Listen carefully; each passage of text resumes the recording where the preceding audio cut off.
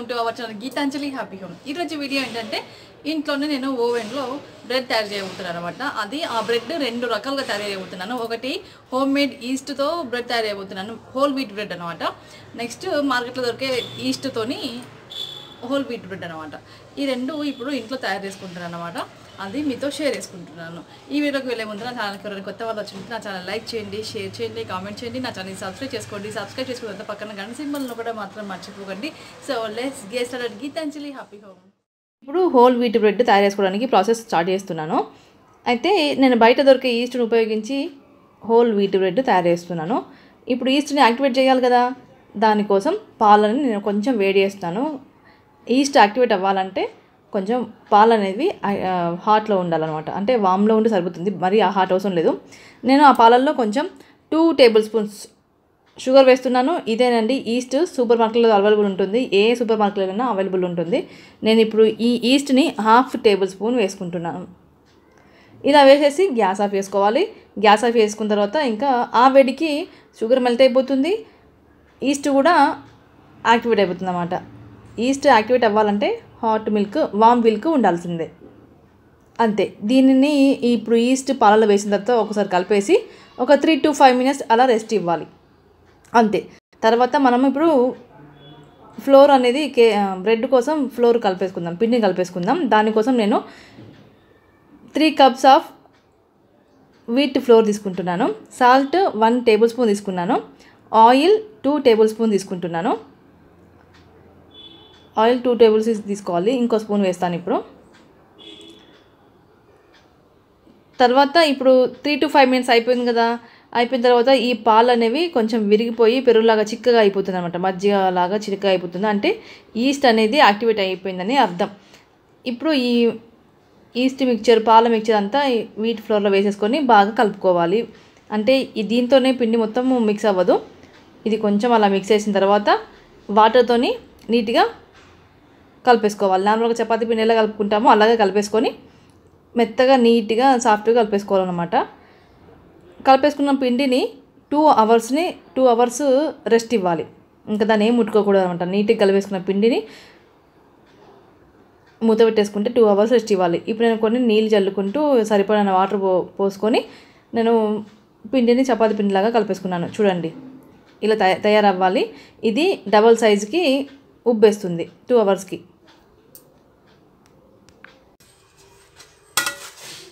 ఇప్పుడు ఇది double size అయిపోయింది. చూస్తున్నారు కదా? డబల్ సైజ్ అయిపోయింది.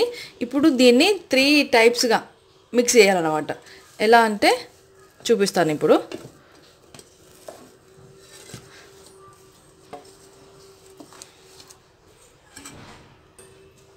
ఇది ఇప్పుడు త్రీ టైప్స్గా మిక్స్ చేయాలని చెప్పాం కదా? అది ఎలా అంటే ఫస్ట్ మనం ఇలా రోల్ చేయాలి. ఇట్లా. ఫస్ట్ మనము ఇట్లా బాగా మిక్స్ చేసేసుకొని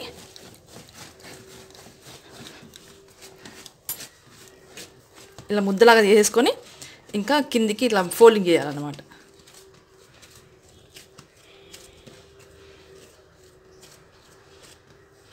ఇట్లా పిండి మొత్తం బయటకు రావాలన్నమాట. మనం ఈ పిండి అనేది లోపలికి వెళ్ళిపోతుంది కదా ఈ పిండి అనేది ఇట్లా లోపలికి వేస్తూ ఇదనేమో ఇలా ఇలా వచ్చేస్తుంది బయటికి ఇట్లా. అంతా మిక్స్ అయిపోతుంది. ఇలా ఒక వన్ టు టూ మినిట్స్ వేసుకోవాలన్నమాట. అయిపోయింది కదా? నెక్స్ట్ మెథడ్ ఏంటంటే rolling method next method flat method అనమాట ఇందాక రోలింగ్ మెథడ్ అయిపోయింది. ఫ్లాట్ చేసుకోవాలి ఇట్లా.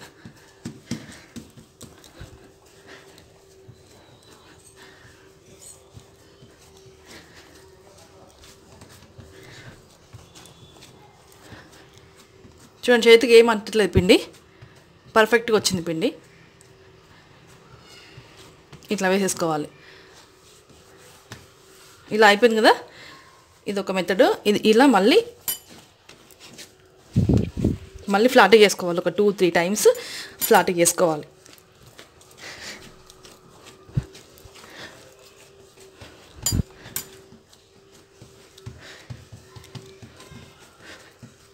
ఇట్లా. మళ్ళీ రోల్ చేసుకోవాలి.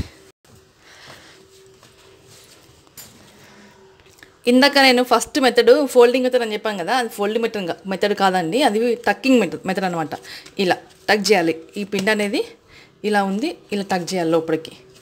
దీన్ని టక్ టక్ మెథడ్ అన్నమాట. లోపలికి ఇట్లా ఇది టక్ మెథడ్ నెక్స్ట్ ఇట్లా ఫ్లాట్ చేసింది. ఫ్లాట్ మెథడ్ అన్నమాట. రెండు మెథడ్స్ అయిపోయినాయి కదా. నెక్స్ట్ రోలింగ్ మెథడ్ అనమాట అంటే ఫోల్డింగ్ ఇలా వేసేసి ఇది ఇటు ఇది ఇటు. ఇలా.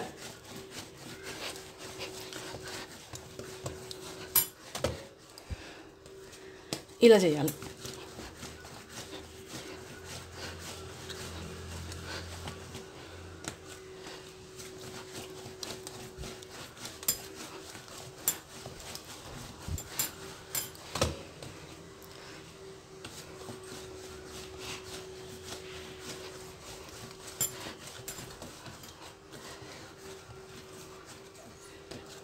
అయిపోయింది.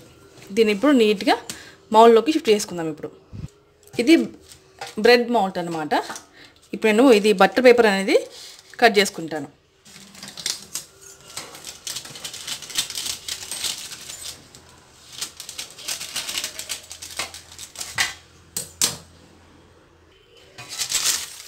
ఇందులో కొంచెం ఫ్యూ డ్రాప్స్ ఆయిల్ వేసుకుందాం.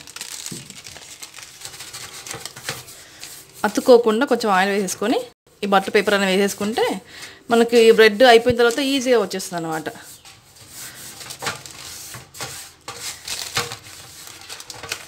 మీ ఇష్టం బటర్ అంటే బటర్ వేసుకోవచ్చు గీ అంటే గీ వేసుకోవచ్చు ఏదైనా. కంపల్సరీగా ఆయిల్ అయితే గ్రీజ్ చేయాలి.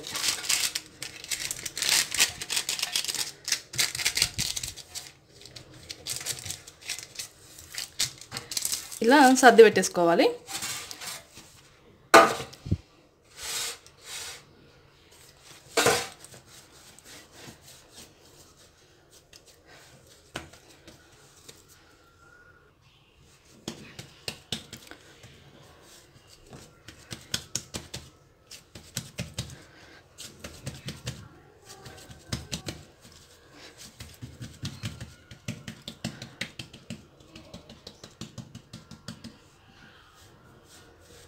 ఇలా ఫ్లాట్గా రావాలన్నమాట. ఇలా వచ్చిన దాన్ని ఇలా వేసేసుకోవాలి.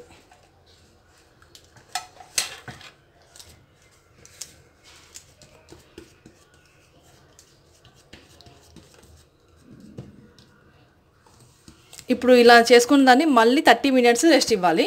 ఇప్పుడు ఈ భాగంలో నేను ఈస్ట్ లేకుండా వీట్ బ్రెడ్ ఎలా తయారు చేసుకుందామో చూద్దాం. ఇప్పుడు నేను దీని దీనికి పిండి కూడా కలిపేసుకుంటాను. ఇప్పుడు చూపిస్తాను నేను ఇది అంతవరకు ఈ పిండి కలిపేసుకునేసరికి టైం పడుతుంది కాబట్టి థర్టీ మినిట్స్ మనము దీనికి రెస్ట్ ఇవ్వాలన్నమాట.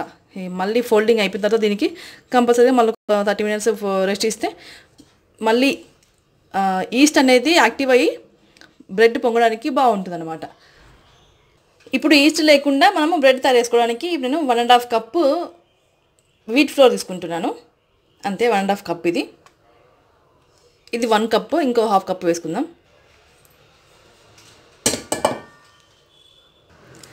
దీంట్లో ఇప్పుడు ఈస్ట్ వాడకుండా బేకింగ్ పౌడర్ బేకింగ్ సోడా వాడుతున్నాం అనమాట దీన్ని ఉపయోగించి మనం ఇప్పుడు బ్రెడ్ బ్రెడ్ చేయాలన్నమాట. ఇప్పుడు దీంట్లో వన్ స్పూన్ కంటే కొంచెం తక్కువ బేకింగ్ సోడా వేస్తున్నాను అనమాట వన్ స్పూన్ కాదు హాఫ్ హాఫ్ స్పూన్ కంటే కొంచెం తక్కువ బేకింగ్ సోడా వేసాను బేకింగ్ సోడా వన్ స్పూన్ వేసుకోవాలి. వన్ టీ స్పూన్ వేసుకోవాలి.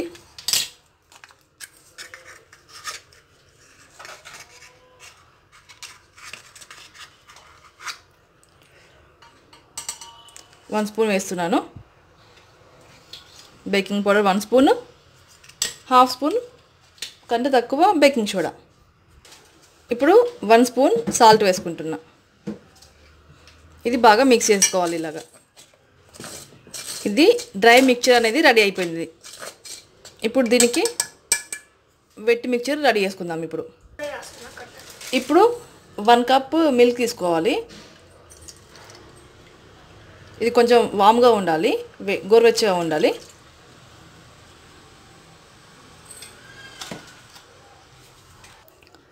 One by fourth cup sugar తీసుకుంటున్నాను. ఇది ఇప్పుడు మెల్ట్ చేసుకోవాలి. ఇది కొంచెం వేడిగా ఉన్నాయి కాబట్టి షుగర్ అనేది కరిగిపోతుంది. అందుకోసమే షుగర్ కరగడానికే కొంచెం వామ్ వెల్క్ తీసుకున్నాను. ఇప్పుడు ఇది బాగా కరిగిపోయింది.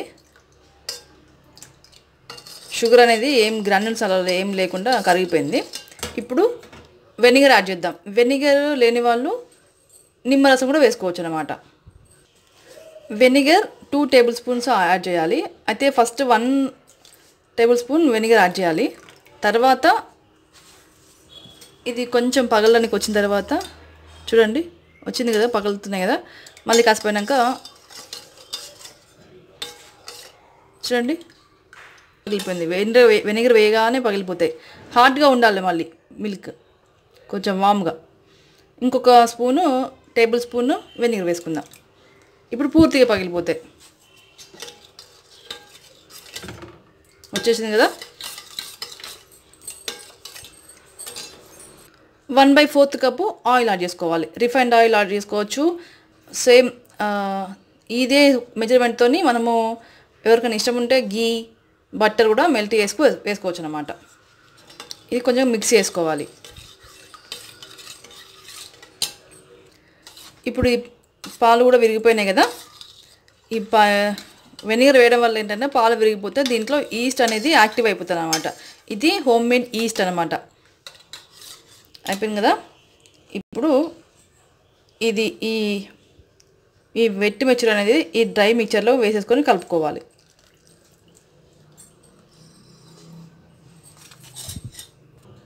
ఇది ఇప్పుడు కలుపుకుందాం. ఎక్కువ కలపొద్దు. ఇందాక మనం ఈస్ట్ వేసుకున్నప్పుడు ఎలా కలిపాము అలా కలపకూడదు అనమాట నార్మల్గా కలిపేసుకోవాలి.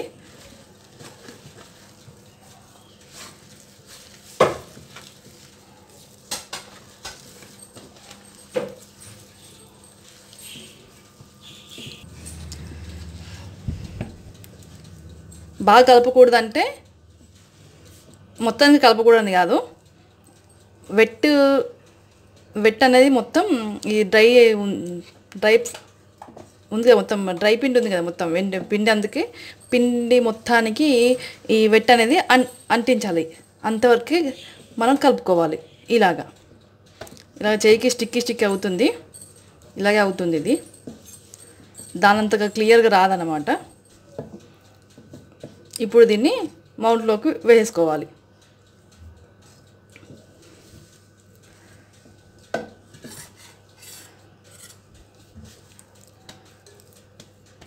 చూడండి పిండి కూడా అక్కడ మనము ఈస్ట్ వేసినప్పుడు ఎలా వచ్చిందో ఇప్పుడు ఇంట్లో చేసిన ఈస్ట్కి ఇలా వచ్చిందనమాట చూడండి.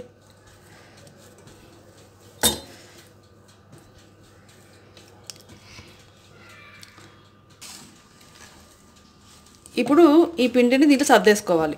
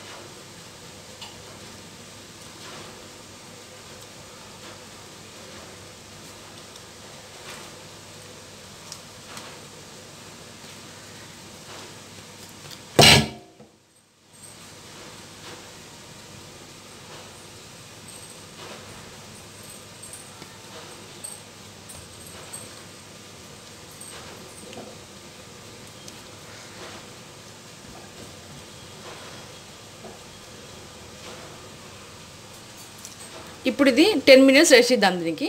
రెస్ట్ ఇచ్చిన తర్వాత వెంటనే మనము మైక్రో ఓవెన్లో పెట్టేసుకుందాం. ఇది ఇప్పుడు టెన్ మినిట్స్ రెస్ట్ ఇవ్వాలి. రెస్ట్ ఇచ్చిన తర్వాత దాంట్లో పెట్టేసేయాలి. అంతవరకు ఇది కూడా హాఫ్ అన్ అవర్ అయిపోతుంది. ఇది కూడా మనం రెస్ట్ ఇచ్చేసి. నేను ఇక్కడ ఓవెన్ని ఓవెన్ని వన్ ఎయిటీ డిగ్రీ సెంటీగ్రేడ్ దగ్గర నెక్స్ట్ బేకింగ్ మోడ్లో ట్వంటీ మినిట్స్ నేను ప్రీ హీట్ చేస్తున్నాను ఓవెన్ని. ఏ బేకింగ్ చేసినా కంపల్సరీగా ప్రీ హీట్ చేయాలి ఓవెన్ని. ఇప్పుడు మనము మళ్ళీ థర్టీ మినిట్స్ రెస్ట్ ఇవ్వడం వల్ల ఈ పిండి అనేది పొంగింది. ఇలా చూడండి. నేను ఇప్పుడు ఫ్లాట్గా వేసాం కదా ఇది పొంగింది అనమాట ఇప్పుడు ఇది టెన్ మినిట్స్ కూడా అయిపోయింది దీనికి. దీన్ని కూడా ఇప్పుడు మనము ఓవెన్లో పెట్టేసుకుందాం. గుర్తుపెట్టుకోండి చిన్నది హోమ్ మేడ్ ఈస్ట్ అన్నమాట. పెద్దది అవుట్ సైడ్ ఈ ఈస్ట్ కలిపిన ఇట్లా బ్రషింగ్ చేసుకోవాలి. డ్రై డ్రై వచ్చేస్తున్నాను అండి పైన.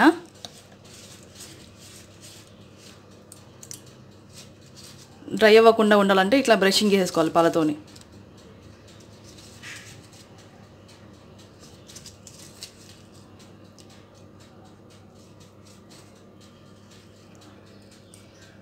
సరిపోతుంది. ఓవెన్ ప్రీహీట్ అయిపోయింది. నేను మళ్ళీ ఇది పెట్టుకోవాలి కాబట్టి మళ్ళీ ఇది బేక్ చేయాలి కాబట్టి నేను మళ్ళీ వన్ ఎయిటీ డిగ్రీస్ దగ్గరనే ఉంచుకోవాలి. బేక్ మోడ్లో బేక్ మోడ్లో అలాగే ఉంచేసుకోవాలి. Extra twenty to thirty minutes మనము ప్రీ హీట్ ఏమో ట్వంటీ మినిట్స్ బేకింగ్ ఏమో థర్టీ మినిట్స్ అనమాట ట్వంటీ ఫార్టీ మధ్యలో నేను థర్టీ మినిట్స్ అలా పెట్టేసుకున్నాను అనమాట ఇప్పుడు ఇది పెట్టేద్దాం.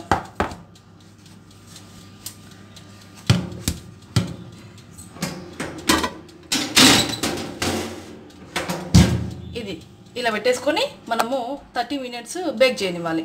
మధ్య మధ్యలో మనము డోర్ ఓపెన్ చేయకూడదు. డోర్ ఓపెన్ చేస్తే ఈ లోపల ఉన్న హీట్ అనేది ఎస్కేప్ అయిపోతుంది అనమాట ఎస్కేప్ అయిపోతే మళ్ళీ బేకింగ్ సరిగ్గా అవ్వదు. ఇప్పుడు మనము బేకింగ్ అయిపోయాక చూద్దాం. థర్టీ మినిట్స్ తర్వాత మళ్ళీ కలుద్దాం.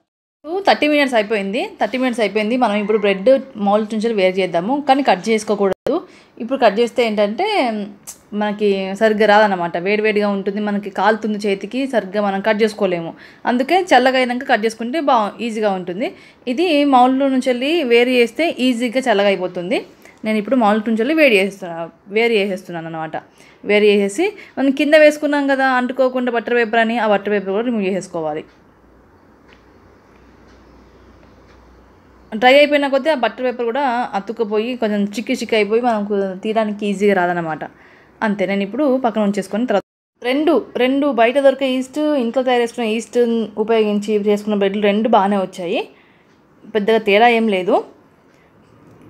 ఇంట్లో తయారు చేసుకున్న ఈస్ట్ అయితే పెద్దగా డార్క్ కలర్ రాలేదు. బయట కొన్న ఈస్ట్ను ఉపయోగించి చేసిన బ్రెడ్ మంచి కలర్ వచ్చింది బ్రౌన్ కలర్గా.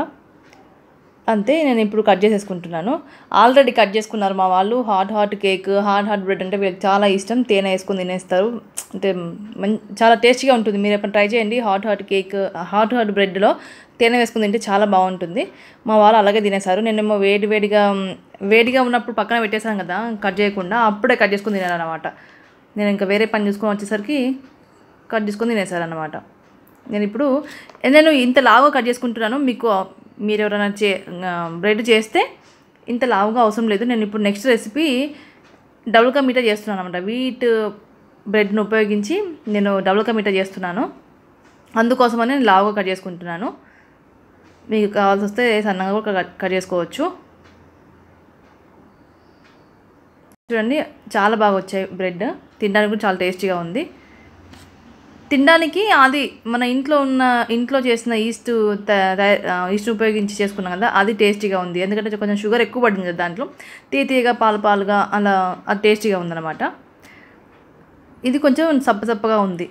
బయట కొన్న ఈస్ట్ని ఉపయోగించి చేసిన బ్రెడ్. అంతే రెండు బాగా వచ్చాయి. కట్ చేసుకున్నాం అంతే అయిపోయింది. ఇంట్లో టేస్టీగా ఇలా బ్రెడ్ తయారు చేసుకోవచ్చు అనమాట హోమ్ మేడ్ ఈస్ట్ నేను ప్ర- ప్రయోగం చేసి చూపించాను అనమాట మీకు. హోమ్ మేడ్ ఈస్ట్ బాగుంటుందా? బయట ఈస్ట్ బాగుంటుందా అనేసి.